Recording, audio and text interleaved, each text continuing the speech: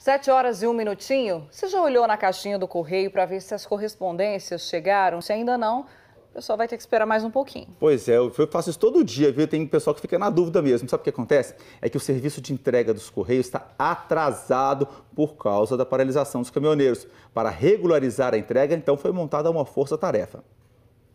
Três carretas chegaram de São Paulo carregadas de correspondências, que se juntaram a outras 12 mil que já estavam aqui para serem entregues. Todas as encomendas que chegam a Goiás passam aqui pela central de distribuição dos Correios. Aqui, elas são separadas por cidades. Os funcionários fazem isso de forma manual. E esse trabalho ficou bastante atrasado, porque as encomendas ficaram paradas e chegaram agora todas de uma vez. Essa turma, para isso, está trabalhando em força-tarefa.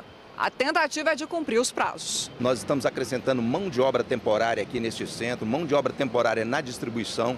Vamos contar com recursos da equipe da administrativa para nos ajudar. A população pode voltar a postar, porque o Correio já está preparado neste período para regularizar toda a carga.